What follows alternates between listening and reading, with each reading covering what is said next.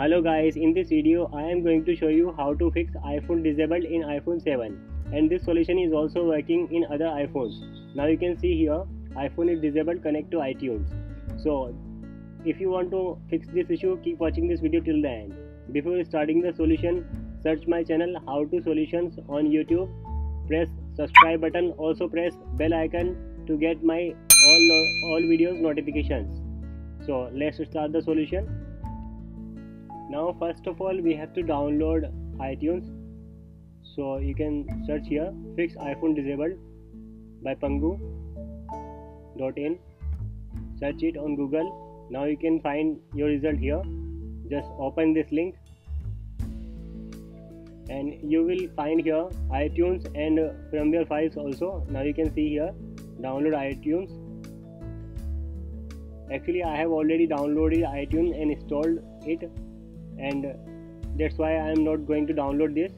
You can download it from here. And this is the firmware. You have to download it latest version. So this is my iPhone 7 so you have to select your model number. Just select your model number and download latest version of firmware. Actually I have already downloaded this file. So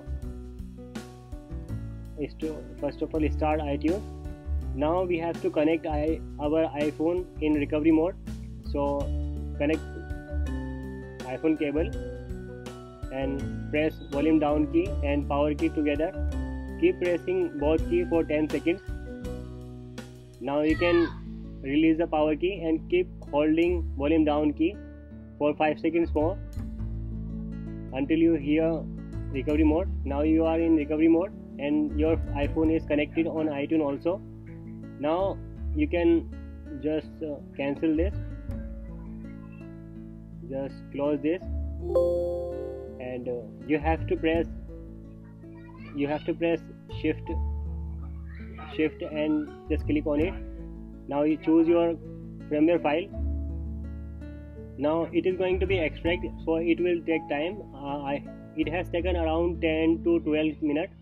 So I have fast forward this clip to save time otherwise it has taken longer time. Now firmware has been extracted.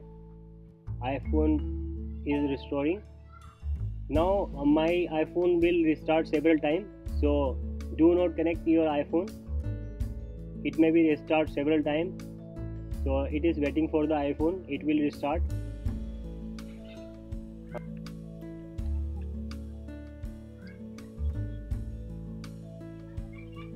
preparing iphone for restore.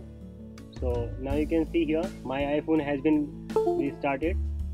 It will connect in flashing mode. Do not press any key or disconnect usb cable. Now my flashing has been start. It has taken around 25 to 30 minutes to restore it completely. I have fast forward this clip in 20x that's why it is going to be faster. Do not disconnect your cable. Otherwise you may lose your device. It will it will be on soft brick condition. So be patient here. Now you can see here. Uh, flashing has been completed. Now you can disconnect your device after the restart. But I'm not going to restart my device disconnect my device because it doesn't have enough charging. In case you have a icloud id in your phone then you have to enter your icloud id i'm not going to show that step because it will be longer video. I will show you in next video. Now you can see here my iphone has been restored and uh, it will ask initial setup now you can complete this initial setup yourself. So thank you for watching this video. See you in next video. Till then bye